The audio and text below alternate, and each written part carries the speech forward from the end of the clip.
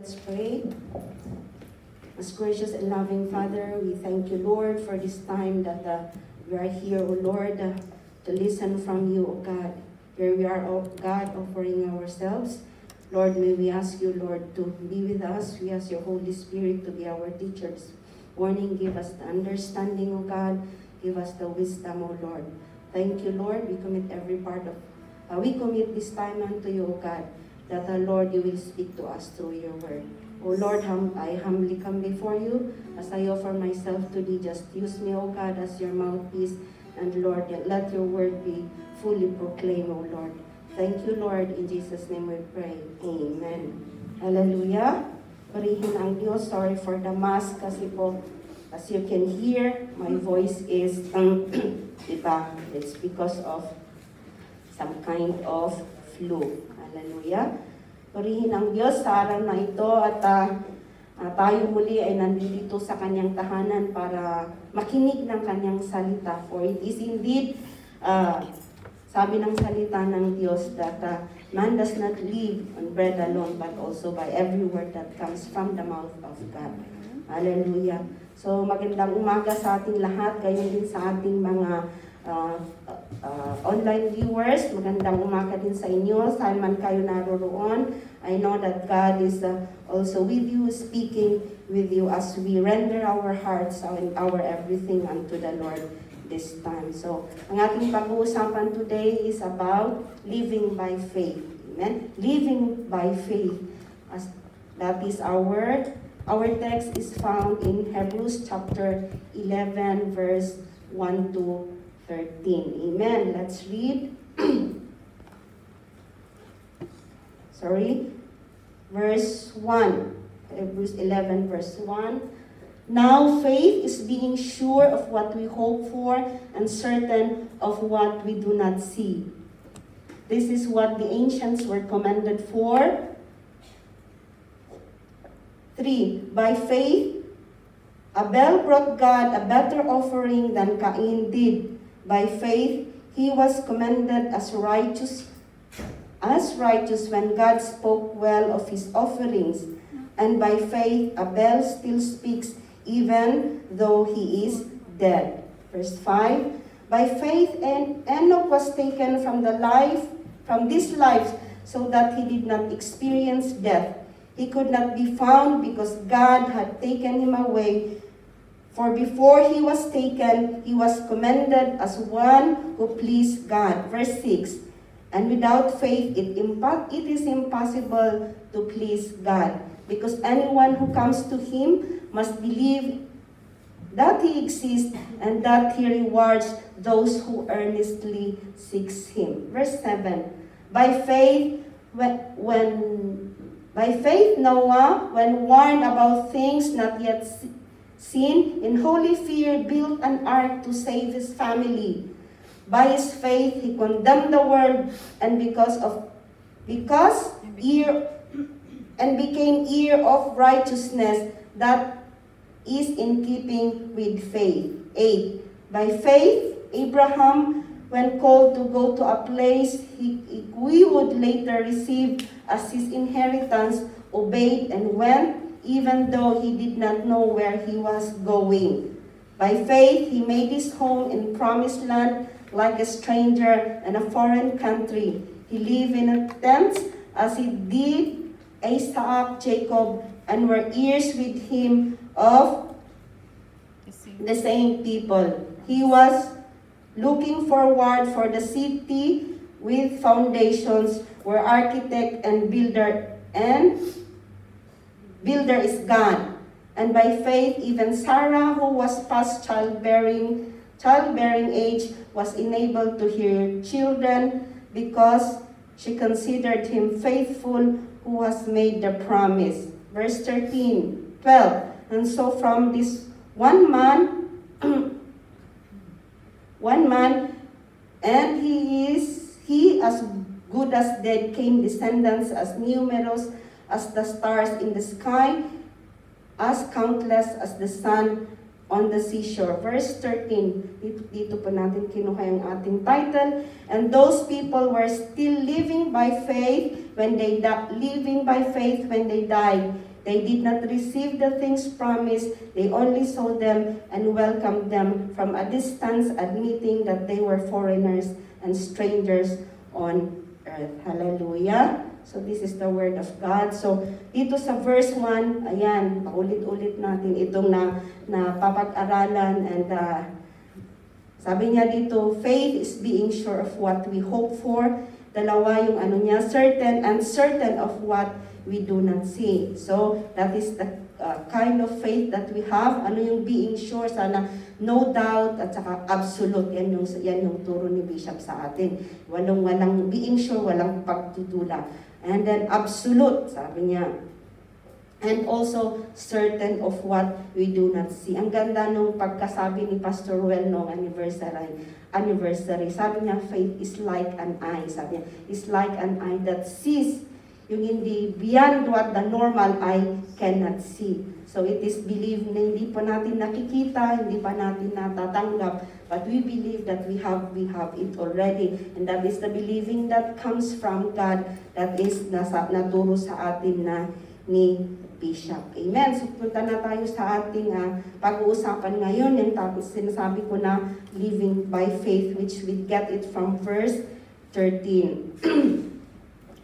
Uh, what does it mean to live by faith? Ayan, pag-uusapan natin o, o, o pag-uusapan natin or what does uh, living by faith means. So number one, number one, living by faith is giving our best offering. Yan sa, sa makikita natin yan sa verse 4. Alam natin yung kwento ni Cain at sa si Abel. So na pag-usapan natin yan nasa ating jail ministry sa ating jail ministry. Kanina, it's offering again, it's about giving again. Hindi natin masasabing again because this is the word of God at dito lang tayo umiikot. Sabi niya, by faith, Abel brought God a better offering than Cain did. Okay, but we jump, we go to Genesis chapter 4 verse 2 to 5. Genesis chapter 4 verse 2 to 5. And Abel also, and Abel also brought an offering, fat portions, some of the first, firstborn of his flock. The Lord looked with favor on Abel and his offering and his offering. But on Cain and his offering, he did not look with favor. So Cain was very angry and his face was downcast. Ayan, nakita natin yung uh, dalawang magkapatid na nagbigay ng offer sa ating Panginoon, si Abel at saka si uh, offering, uh, at saka si Abel. Uh, so makikita natin dito yung quality or yung description ng uh, of offering na bini, eh, binigay ni Abel. Sabi niya dito is, my description sa Abel's offering is fat portions. Ayan, from the firstborn of his of his flock. And sabi ni Bishop talaga yung first class, yung piling-pili talaga. Yung the best. Amen? So that is the kind of uh, offerings that God is looking to each and every one of us na ating iaalay sa at na ating iaalay sa Kanya. That is the kind of offering that will be favorable. Sabi na, And God, sabi dito, the Lord looked with favor on Abel in his offering. So yung naging favorable yung offering ni uh, ni Abel kay uh, in the eyes of the Lord. So what is an offering? Offering is something given to God as an act of worship. So it is not offering our offerings. This dito sa ating pinag-usapan is yung pagbibigay nila Cain and Abel is about their uh, yung yung actual na binibigay sa uh, yung offering na sinasacrifice sa altar. But sabi nito, sa offering is something given to God as an act worship, act of worship. So it is our all in all. Unang-una, ang ating munang sariling ating ibibigay sa Panginoon. Kaya sa bawat pagpunta natin, pagharap natin sa ating Panginoon, or sa bawat paglilingkod natin, sana gawin natin yung ating ating best. Amen? Gawin natin yung ating, uh, gagawin nating best para po maging kaya-aya ang ating ginagawa. Amen. Amen. Kaya sabi nga dyan, his of, Abel's offering is favorable in the eyes of God. So, nakita natin dito that uh, there is a there are uh, there is an if there is a, a favorable offering or an acceptable offering, meron ding hindi kaaya-aya. Amen. So, uh, here I let's see kung ano ba yung mga favorable offerings. Amen, yung mga acceptable offerings. Okay, letter A. Sabi dito sa description niya is without uh, defect or blemish. Without defect or blemish. Leviticus chapter 22 verse 21 to 22. When anyone brings from the herd or flock of fellowship offering to the Lord to fulfill a special vow or as a free will offering, it must be without defect or blemish to be acceptable. Iyan sa atin sa mga old, sa Old Testament. Kasi ang ino-offering nila noon mga ah, mga animal, mga mga animal kaya nga may kailangan may descript may ah, description sabi niya without defect. ah. kaya hindi yung pilay, ayan, talagang perfect offer offering. So sa atin din, that yung yung quality ng ating offering ay ah, kailangan din na dapat yung presentable sana kung magbibigay tayo kay Lord ah, kung magbibigay nga tayo ng gift sa isang tao, di ba, inaayos natin what more to God. And so, sa ating pagbibigay, ang ino-offer na, when we, ang ino-offer natin kay Lord is our, our uh, income is yung, dahil di tayo nasa Hong Kong, hindi naman tayo f- farmer, hindi naman tayo nag-aalaga ng hayop. What we have is our, our dollars. So, ating ibibigay sana yung, tingnan natin na maayos, eh. Uh, I have heard noon na sabi nga doon sa Korea pa daw, meron pa daw pinaplansya nila yung kanilang offering. Yung iba pa daw, bagong withdraw sa bangko. So it is uh, really, it really matters kung ano, how do we present our offerings. Dapat sana yung, sabi niya dito, without defect or blemish, yung kaaya-aya. So what about us?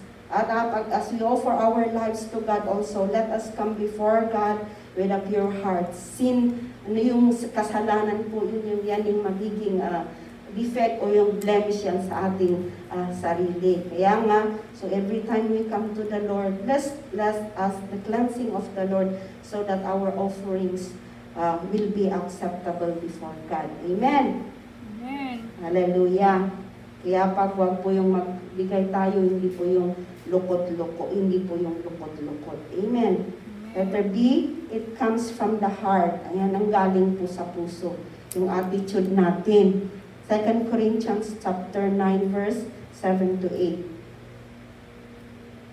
2 Corinthians chapter each man should give what he decides what he has decided in his, in his heart to give not reluctantly or under compulsion for God loves a cheerful giver. Ayan, sino pa bang hindi nakakaintindi niyan? Tayo magbigay, galing po sa puso. Kaya nga, when we come to the house of the Lord, dinidecide na natin kung ano yung ibibigay, ibibigay natin, yung ano yung i-offer na, i-offer natin. Hindi yung nandito na tayo, saka, saka tayo nagbubukas ng wallet. Ano, meron na, meron na, merong kwento. Dahil nga sa ano, I think it happened before in Lions. Ah, yung ano siya, ah, why, hindi na na-prepare yung kanyang offering. Eh, pagdating ng offering, basta lang tumugot sa kanyang wallet, ang, ang, ang kanyang, ang, ah, sa kanyang wallet. Ang hindi niya alam, yun yung hindi niya ibibigay sana. Pero yun yung nakuha ng kamay niya. Tapos yun yung in-offering niya. Anong tinin, pagkatapos yung tiningnan niya yung, yung tiningnan niya yung, ah, tining, tiningnan niya yung wallet na wala na. O, binabawi niya. Hindi po ganun. Kaya nga sabi, it is important that when we come before the house of the Lord, kailangan natin din na i-prepare yung ating mga offering. Amen? Kasi kapag nagbigay, wala kang wala nang bawi, ah, wala nang bawian. So, that is uh, should be our attitude. Ayan, dapat sana yung galing sa puso, hindi yung hindi yung napilitan ka lang or hindi yun lang dahil yun, yun, yun lang yung nahugot mo o kahit ano-ano. It should be yung galing sa ating puso. Talagang pinag-isipan natin, pinag-pray natin. Amen. Letter C, sacrificial. Luke chapter 21 verse 1 to 3. Ito yung widow's offering. Amen? Widow's offering. As he looked up, Jesus saw the rich putting their gifts into the temple treasury. He also saw a poor widow put into the very small copper coins. If I tell you the truth, he said, this poor widow has poured in more than all the others. Yan. Kasi nga, may mayaman, some, eh, mayaman na sometimes pinag yung hindi sa kadami, yung kalaki ng uh, kalaki ng uh, uh, nai, naibibigay natin. But sabi na dito, ang, ang klase ng sacrifice, ng offering po ng widow na ito is out of her, her poverty. She gave all he had to live on. Yan yung yan yung yan yung uh, yan yung klase ng kanyang pagbibigay. Hindi, hindi, hindi po tira-tira, pero it is, yun yung, kabuhay, yun yung, kap, ano yan, isulat ipagbiyagan na. Amen? So, ang ating pag, ang pagbibigay po ay, hindi po yung kung ano yung natitira. Amen? Dapat nga, dapat nga ang ano natin is when we have we receive our salary, set aside na, set aside na natin yung ating mga tithes, set aside natin yung uh, ating mga offerings. Hindi muna, hindi yung gagasto muna tayo at saka kung natitira, yun yung ating ibibigay na offer, offering. So, ayan. Amen? Sacrificial. Ano po yung sacrificial? Yan. Lagi nating nakikinig. It's going beyond our extra. Amen? Hallelujah. Give God the best in all you do. Hallelujah. Give God the best in all you do, in even in our offerings. Amen. Amen. Yan po. Okay, number two. Living by faith is walking with God faithfully. Ayan, na-topic ulit natin yan kanina, pero ang sabi ni Sister Pastor Susan kanina is walk humbly. Okay, verse uh, uh, that is found in our text, verse 4 and 6. Ayan, makikita natin dyan sino yung character na makikita, makikita natin dyan is si uh, si si Enoch. Ayan si En si si Enoch. Shall we jump to Genesis chapter 5 verse 22 to 24. 5 verse 22 to 24. After he became the father of Methuselah, Enoch walked faithfully with God 300 years 300 years and had other sons and daughters. Altogether, Enoch lived with a total of 365 years. Enoch walked faithfully with God when he was no more because God took him away. Amen. Ayan. Living by faith is walking with God faithfully. Na nasulat po ito, itong mga characters na ito sa Bible para po sila yung magiging example natin. If we look at the title here in our Bible, sabi dyan, is living ay faith in action, faith in action. Ibig sabihin in other terms in living by faith, sana yung yung paniniwa, yung faith, yung faith natin. Kaya kailangan may action nakikita. Amen. So eh, dito sa buhay ni Enoch, sabi niya sa buhay ni Enoch, sabi Enoch walk faithfully with, with faithfully with God. Kapag sinasabi natin na nating uh, walking with God. We have to follow, uh, it is following God, living for Him, and modeling our actions after His Word. Ayan, at nandyan po na tayo ay sumusunod sa ating Diyos, walking in His ways. So, living, uh, walking faithfully with God kung sinasabi natin, kapag sinasabi natin na with God, ibig sabihin, partner kayo kasama. Hindi pwedeng dito dumadaan si Lord, ikaw dito. Living, walking with God ba yun? Hindi. We have to walk in the same path, in the same path with the Lord. Paano natin po gagawin yan? Sabi nga, sabi ko nga, we have to live, uh, live, uh, live and pattern our actions in everything we do after His Word. Ayan, nandyan na yan na sumusunod tayo sa utos ng Diyos. Saan po natin makikita ang ways ni Lord, ang mga kagustuhan ni Lord is sa ating Bible, sa ating uh, uh, Bible. Sabi niya, so in everything that we do, we have to involve God in our, in every areas of our life. Sabi nga ni Bishop, every areas of our life is a jurisdiction of is a jurisdiction of God. So if we say that we are walking with God faithfully sa lahat-lahat ng ginagawa natin, amen. Sa ating pag sa ating trabaho, sa ating mga finances, sa ating mga decision, sa ating mga uh, social relationships, mga sa uh, asawa, yan, sa mga boyfriend, amen. Sabi na, we have to pattern everything in the word of in the word of God, amen. Sabi, sabi dito sa Psalm chapter 37 verse 5, Commit your ways to the Lord. Trust in Him. And He will do this. Ayan. We have also to commit our ways to, we have to commit our ways to the Lord. Yan yung pinag-aralan natin last time. Kasama yan yung ating mga uh, decision making. making. Even sa, let's read also Proverbs chapter 3 verse 5 to 6. Trust in the Lord with all your heart and lean not on your own understanding. Amen. In all your ways, acknowledge Him and He will make your straight path. Sabi niya dyan, in all your ways, acknowledge Him and He will make straight path. Kaya po, magiging maayos po talaga ang buhay, magiging maayos po talaga ang buhay natin kung lagi, if we include God in our everyday life, sa lahat ng ating mga ginagawa. Yan, magiging maayos po ang ating buhay. At yung quality po ng pakikipaglakad ni Noah is may uh, ay, ni Noah, ni Enoch ay may description. Sabi niya, kaya nga sabi natin, faithfully, ayan, yan, faithfully. I have, uh, aside from sa mga pinag-aralan natin, mga pinagtuturo ni uh, Pastora Evelyn last time before he went to Japan, may nakita ako dito that uh, something I can add dito sa uh, Revelation chapter 2 verse 13.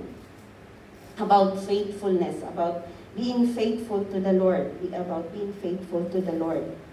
Okay. Revelations chapter 2 verse 13. Ayan. Okay.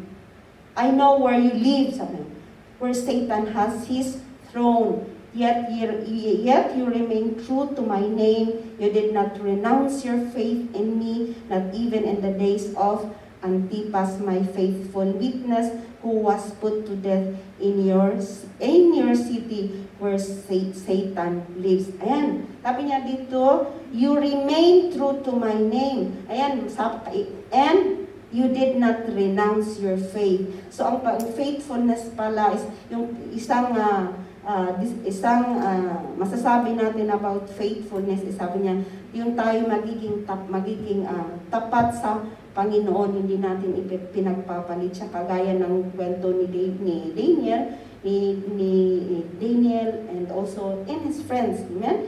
In his friends. At sabi niya, not, uh, not renouncing your faith. Ah, wag mo nating i-renounce, wag na wag nating anong Tagalog ng renounce.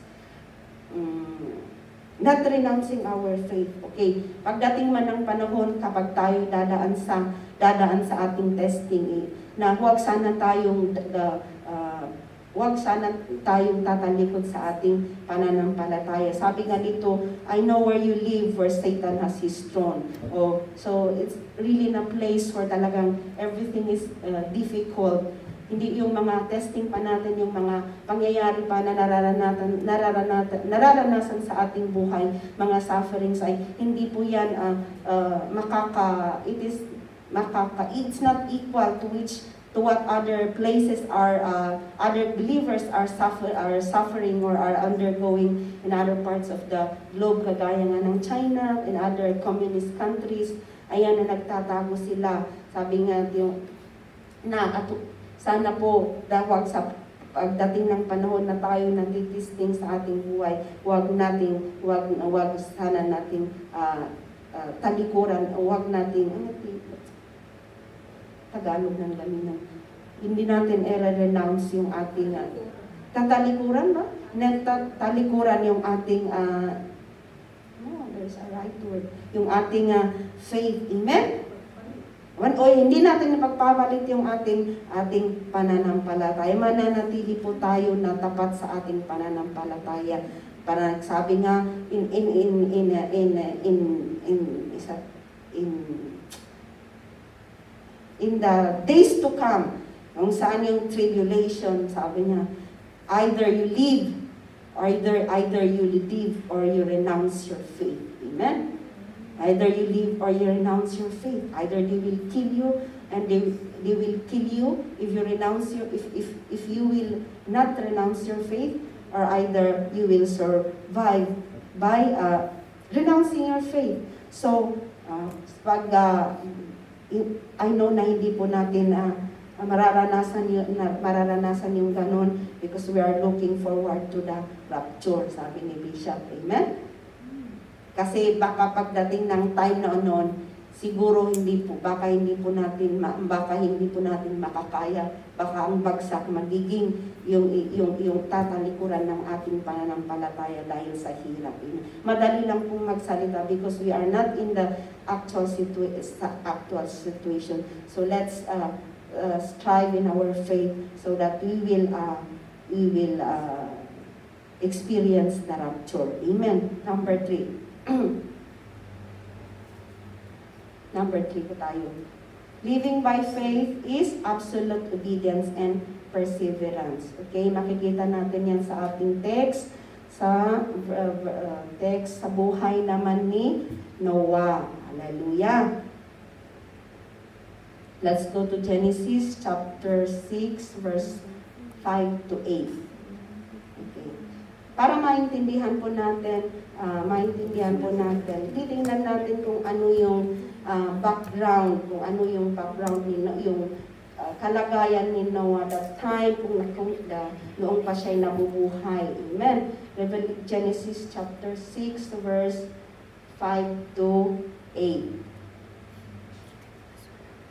The Lord saw how great wickedness of the human race had become on earth and that every inclination of the thought of human heart was only evil, evil all the time. Ayan.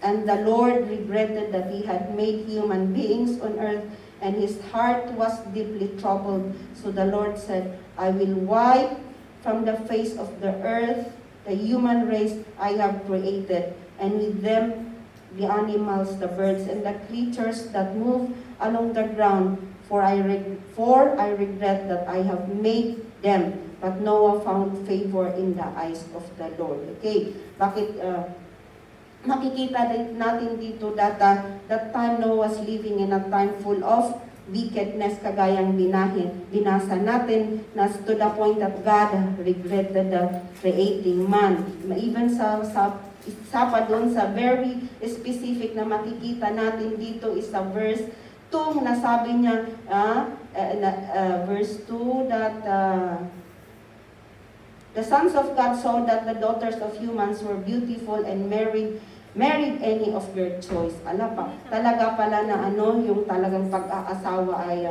uh, very talagang talag, ta, uh, talagang uh, ayan, it is really kailangan natin isubmit sa ating Panginoon. Kaya sabi kasi tingnan niyo dito, oh, sabi niya, even that time ni, ni Noah is, ni Noah is uh, ang mga tao be married, be married any of uh, their, uh, married, married any of their choice. Amen. Kaya sino pa yung mga single dito? Ang mga single dito.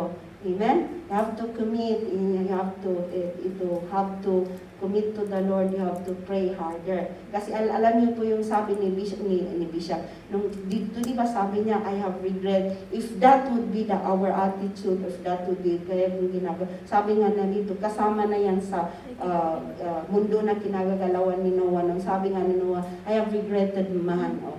Kaya sa buhay natin, mahirap pala na, mahirap pala na gumawa tayo ng desisyon na tayo-tayo lang. Dahil baka si Lord magsisisi sa buhay natin. Sa, I have regretted that I created you. Sabi niya, di ba? And I've regretted that I created man.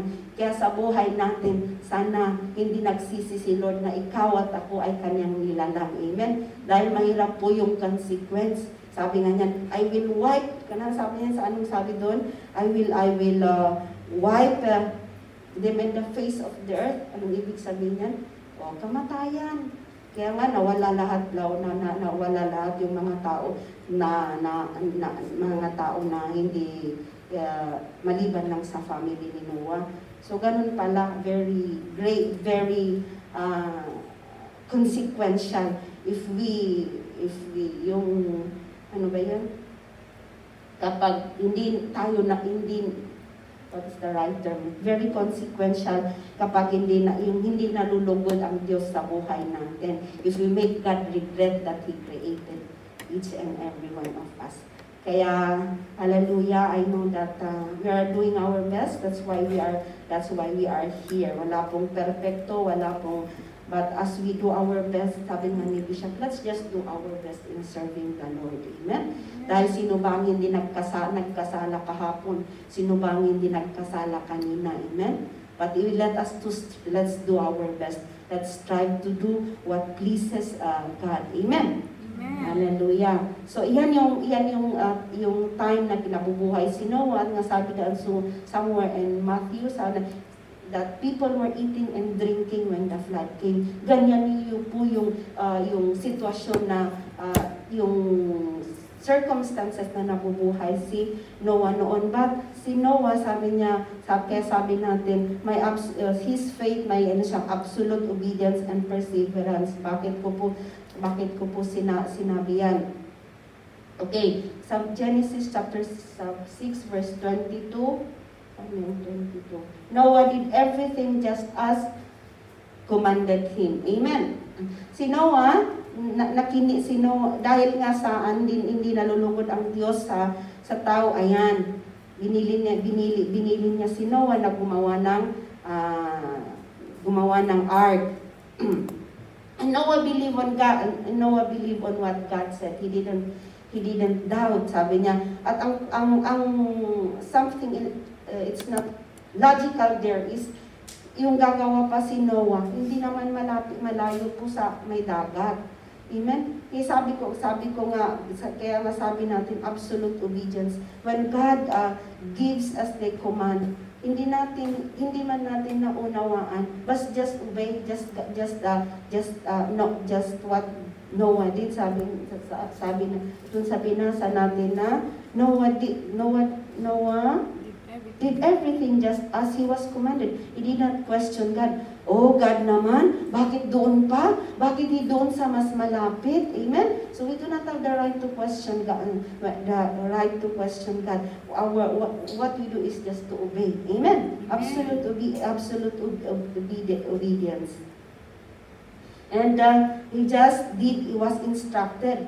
He, he, isa pa dyan, is, alam niyo ba yung paggagawa ng art is, there is a specific measurement. Amen? Specific measurement. Mga kortina, may mga pintuan. Kung tutuusin, ang hirap. Ang hirap parang trabaho ng architect. Eh, si Noah, ano kaya si Noah noon? Amen? Ano kaya yung trabaho ni Noah noon? But there's every specific. O sa atin nga dito sa church? Sa atin, oh, bawal ang ganito, bawal sa atin. Yung sarili natin may nag nagre-reklamo minsan, di ba? Aminin natin. But sa nga sabi nga dyan, ang sabi nga, sabi nga dyan is, you just follow. Amen? Yan po yan lang yung dapat natin. Kaya let's just obey.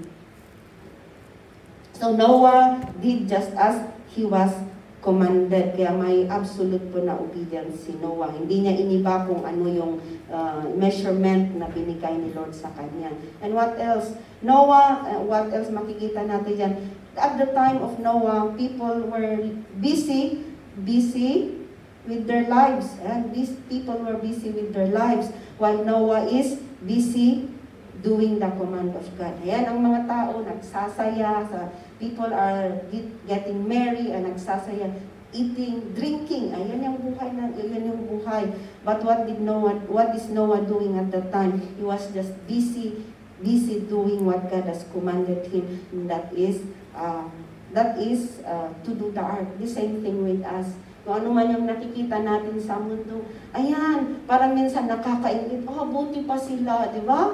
But uh, let's focus our lives in doing what God has commanded commanded uh, yung mga utos ng Diyos. Because in the end sino po yung maliligtas? Tayo din. Because if we see what happened in the life of Noah all what Noah did sino yung nag-benefit? Noah and his family. It na-save po yung kanyang family. But the people they have enjoyed their life but in the end they were distracted. Amen? So, sa atin din po oh, hindi man tayo nakakalabas hindi man tayo nakakapag ano yan nakapaggala-gala hindi pa. Ako nga hindi pa po iilan pa lang mag uh, I've been, siguro magto 12 years na yata ako dito sa Hong Kong, hindi ko. Pero iilan lang ang alam ko, siguro ang ang worldwide nga worldwide nga hindi ko pa hindi ko pa kabisado yung yung ano. But never mind. Amen. But never mind. What matters is our service to the Lord. Hindi po natin naglibot ang buong Kong. Ang Ocean Park di, ang Disneyland din, napasok ko lang minsan dahil sinama ako ng amo ko. Amen? Hindi po ba natin napuntahan ang mga iba't ibang parte ng dito ng Hong Kong? But uh, uh, what matters is that our service to the Lord. Because in the end, hindi naman yung ta hindi naman yung ta hindi naman yun ang tatanungin ni Lord. Ang tatanungin, tatanungin ni Lord, what have you done? Yeah? What have you done? Amen? Ayan, so while people are busy enjoying their lives, parang minsan nga nakakaingit, sabi ko, but uh, mm, let's just do our service to the Lord. Amen? Ayan. And then, uh, with, with regards to perseverance, okay, uh, alam niyo ba that, uh, where, where is that in uh, uh, perseverance? Noah did not waver despite the long, despite the long years of building the, of building the ark and the mockery of people. He finished the ark and his family was uh, saved. Sabi dito sa verse, uh, Genesis 5 verse uh, 20, 32, Noah was 500, 500 years old when he became the father of Shem, Ham, and Japheth. And then, we sabi doon sa uh, 7 verse 6, Noah was 600 years old when the flood waters came to the earth. So makita niyo 500 minus uh, 1, oh, 600 minus 500, that was about 5, 100 years. But sabi dito is, Noah, uh, Noah was 500 years old when he became father of Ham and Japheth. It did not say that that was the time when he started building. So kahit pa naman i-minus natin kung paan ilan yung taon niya yung mga anak niya dyan, kahit pa sabihin natin dyan na 20 years, 30 years, parang, parang matagal. Ikaw, ga, ilang taon ka na ba naglingkod sa Diyos? Amen?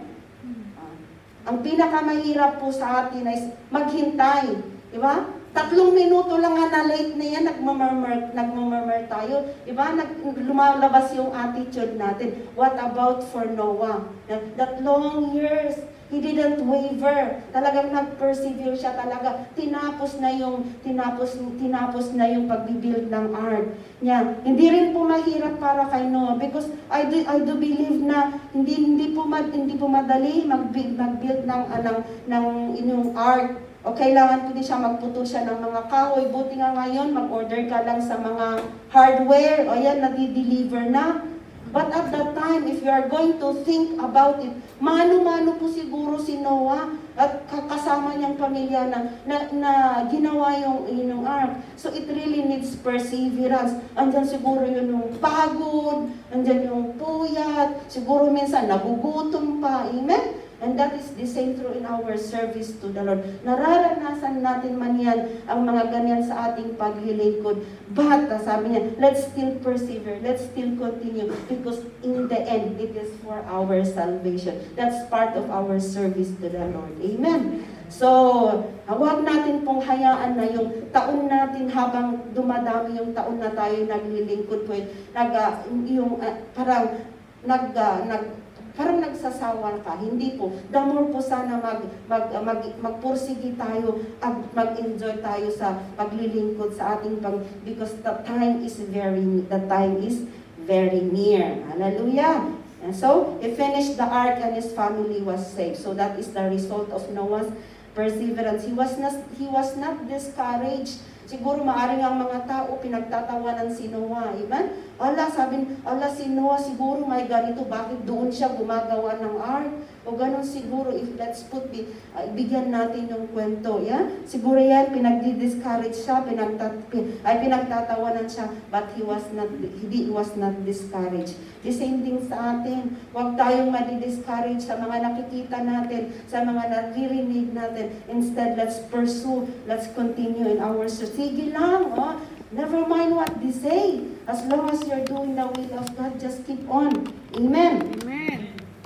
And continuous yung obedience na. Imagine, of course, continuous yung, hindi siya mahuminto. Ah, kung ma- makikita nyo dyan, hindi lang nag-start la yung, yung, yung, obed, ay, yung command ni, ni Lord kay Noah is yung hindi lang yung pagbibuild ng ark. Mga marami pang mga, ano yan, marami pang ah, o sumunod na mga utos ni Lord hanggang sa nakalabas siya. Kaya yung kailangan yung ating continuous obedience. Yung yung may perseverance is hindi yung yung yung yung ano ba yan? Hindi yung sumunod ka na yun bukas hindi na. Ano ba?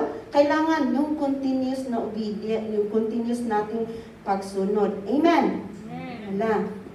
What else? He was not tempted of the pleasures of the world. Kaya nga sabi ko, sabi ko kanina, o means, in- kung, kung tumingin tayo sa mga nakikita natin, parang parang ako nga din, di ba? Parang matitempt tayo. But uh, what I can see in the life is no, Noah that sa lahat siguro na nakikita niya, hindi siya na-tempt, hin- hindi siya na naawis, na Tagalog na awis. Hmm?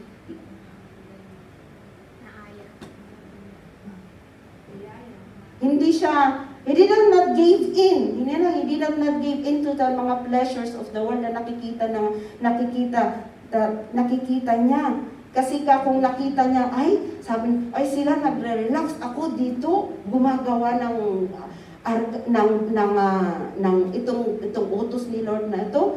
Sometimes like ah, ganyan parang ganyan. So sa ating mga sa ating buhay din is kailangan natin that we have to overcome yung temptations. Amen? Para may pa- para para yan masasabi natin yun na yung ating pananampalataya ay ah, nabubuhay ta- masasabi natin na ah, tayo ay namumuhay na may pananampalataya sa kaya And also, sacrificially, he built the ark. Kaya nga sabi ko, yung nag, talagang nagtulog si ah, Noah, nag-effort si Noah. And the result is salvation of his family. Amen? Ayan, so maging tularan po natin yung ah, naging ah, buhay ni Noah. Marami tayo po natutunan sa kanya. Amen? That is number three. Oy, malapit na tayo matapos. Number four.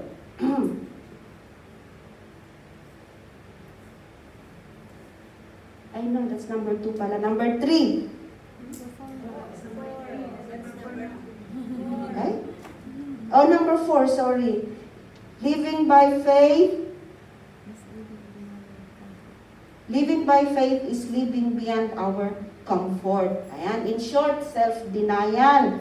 That is found in verse 8 to 10 of our 8 to 10 of our text. So shall we go to Genesis chapter 12 verse 1? Sa buhay naman yan ni ano, sa buhay naman yan ni Abraham. Genesis chapter 12 verse 1. The Lord said to Abram, Leave your country, your people, and your father's household, and go to the land that I will show you. Ayan yung utos ni ni Lord kay ah, Abraham. O madali, eh, si, si, kaya si Abraham din nag-approve din pala na kagaya natin. Amen? Ano sabi niya, the Lord said, leave your country. Ayan. Madali, madali bang iwanan ang, yung, ang bansang Pilipinas?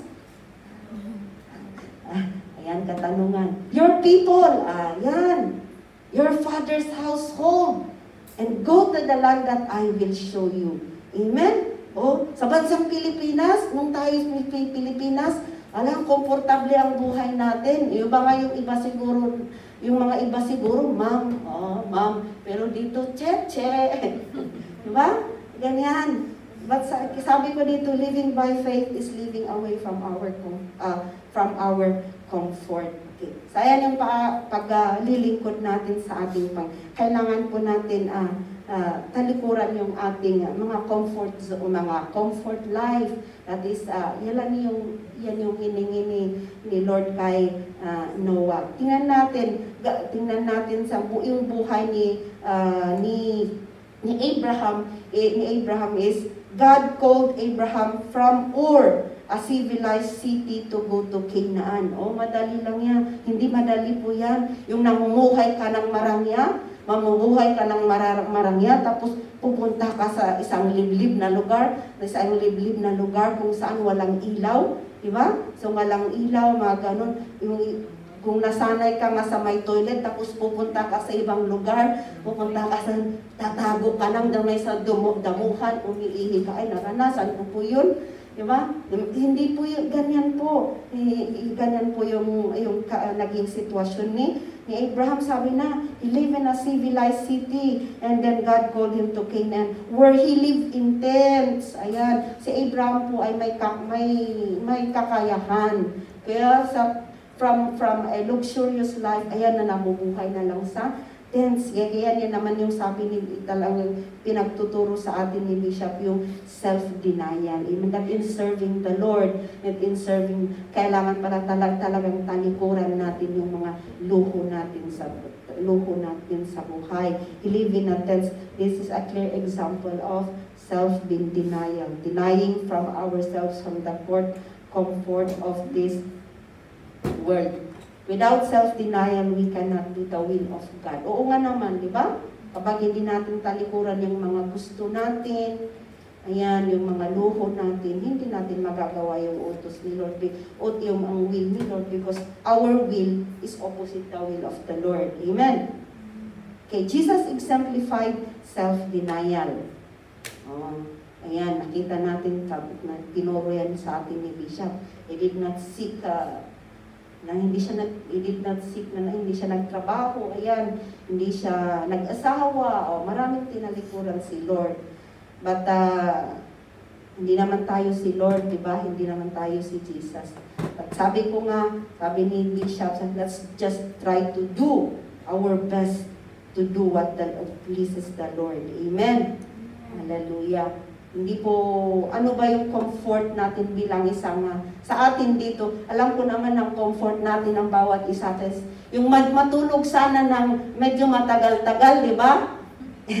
yun lang yung alam ko, simple lang yung, simple lang yung gusto natin, tingali. Pero hindi kailangan nga, because it is the day of the Lord, kailangan natin ma, and that is, that is just that is it, doing yan. Yung, yung tinatalikuran natin, yung comfort natin. Alam ko na bawat isa sa atin, yung sana gusto, mas matulog sana, pero it is because the, because it is the day of the Lord at alam natin na may gagawin tayo. Kailangan maaga tayo ng magising, di ba? Mas maaga pa tayo kaysa yung usual na paggagising natin sa ating trabaho, di ba? Amen. And God honors the sacrifice. God honors those sacrifices that we are doing in the doing that we are doing. When God uh, commanded uh, when God commanded Abraham to leave his country, God he gave him a prom God gave him a promise. Makikita natin yan doon sa uh, Genesis chapter sa makikita natin yun sa verse 2 and 3. Sabi niya, I will bless you. Ganon din si Lord pala kapag binigyan tayo na binigyan, binigyan tayo ng command, meron at merong blessings na ibibigay. Amen? Even as today, let us look in, um, hindi naman, Luke 18 chapter 28, 18 verse 28 to 30. 8, 28 to 30.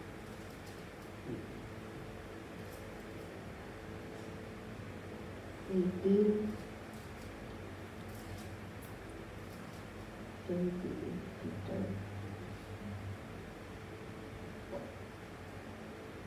Ayan. Peter said to him, We have left all we had to follow you. 29. I tell you the truth, Jesus said to them, No one has left home or wife or brothers or parents or children for the sake of the kingdom. Verse 30, will fail to receive many times as much in this age and in the age to come eternal life. Ayan, di ba? Ang ganda? Amen? So that is our hope. Yan yung yan yung yan yung yan yung promise ni Lord. That even sabi niya, wala walang tumalikod, walang tumalikod nang iwan ng kanyang tahanan, ng kanyang pamilya, ng kanyang mga magulang, mga anak para maglingkod sa Diyos na hindi ibiblas ni na hindi ibiblas ni Lord. God is faithful to His promises. If God has blessed Abraham, God is able to bless us too, as long as we follow and do what pleases the Lord. Amen. Kaya hindi po tayo, wag po tayong, ah, parang yung pagpapakinggan mo kasi yung self-denial talagang ang bigat. Amen? Ang bigat. Tinitingnan nga lang, titingnan nga lang natin si Bishop is talagang he really live a self-denial, self uh, yung a self-denied life.